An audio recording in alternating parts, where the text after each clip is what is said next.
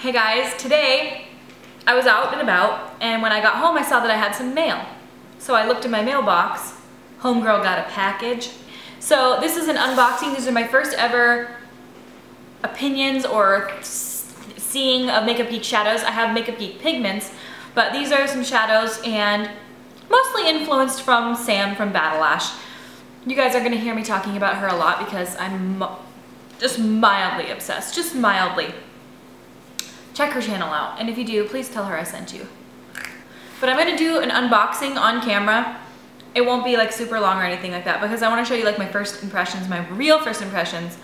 And I also got a gel liner, so let's just get started. You see all these little packs full of the eyeshadows that I ordered.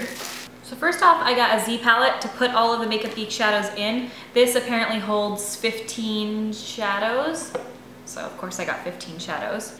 So first I pick up Makeup Geek Peach, I don't have to say Makeup Geek, because these are all Makeup Geek. First I picked up Peach Smoothie. This is a peachy brown, great explanation.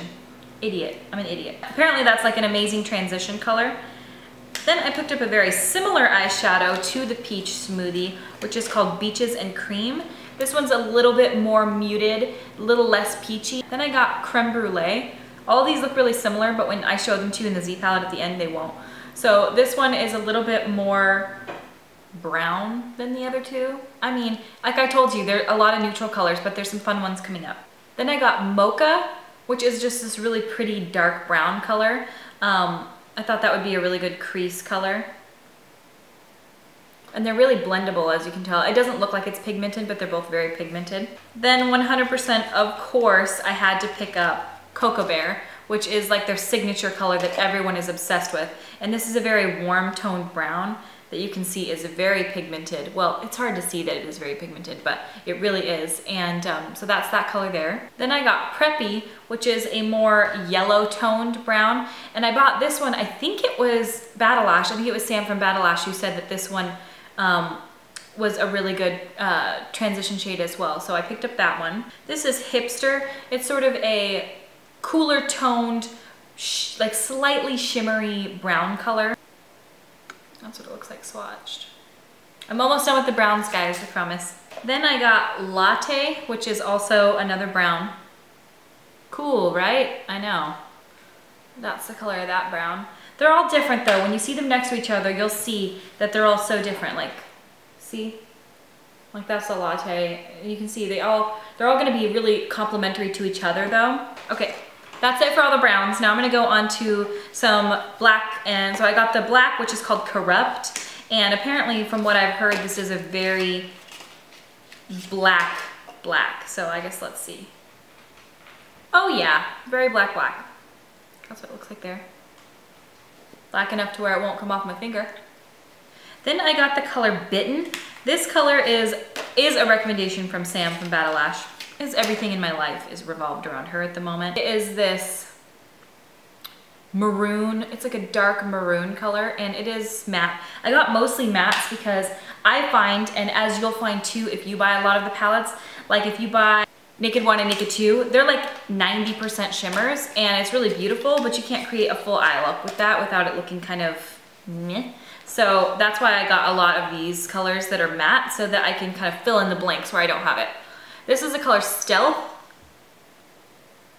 and it's just a matte dark gray, really pretty. This is a new Makeup Geek color and it's called Pop Culture. Sorry, I'm flipping you off. Eh, fuck you. But it's a really pretty iridescent shimmery purple that's sort of like Makeup Geek Wisteria, but shimmery.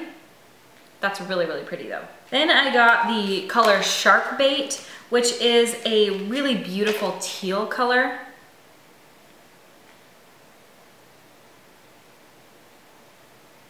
Really like that. I'm gonna do some badass makeup looks with that one.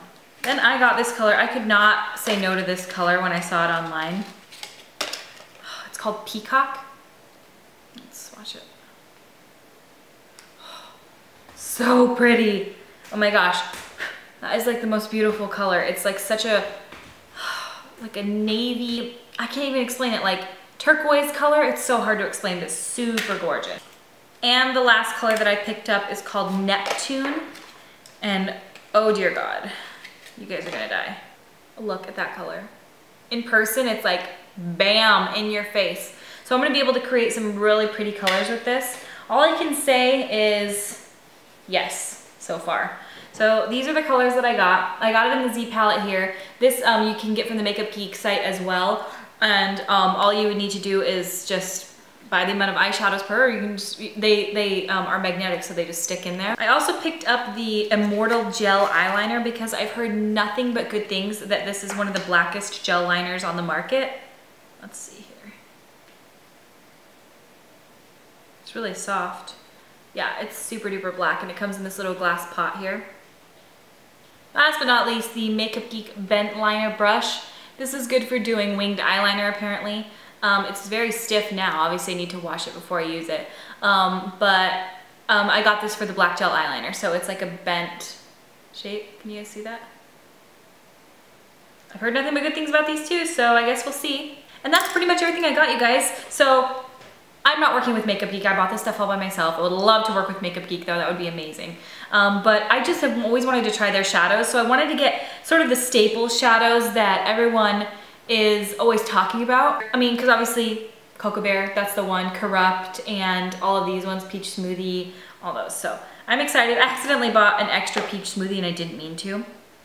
But that's it guys. Uh, that was just a quick, really impromptu, but I wanted to show you the shadows I got. And what this means is that you'll be seeing a lot of really, really awesome makeup looks coming up soon hopefully. Um, I do notice that my makeup tutorials get a lot less views than my other videos and that kind of, what that tells me is that you guys don't like them as much, but please let me know if you guys do. Um, please also go check out my Instagram if you wanna see really high quality up close photos with lots of information on which products are used, then go there and you can see like this look here I post. I'm posting a picture, a high quality, nice makeup photo every single day now and you can go check it out and I um, put all the information of which brands I'm using in the description of the picture. So go check those out you guys and I thank you guys so much for watching. If you'd like to see more videos from me then subscribe. If not, well then don't.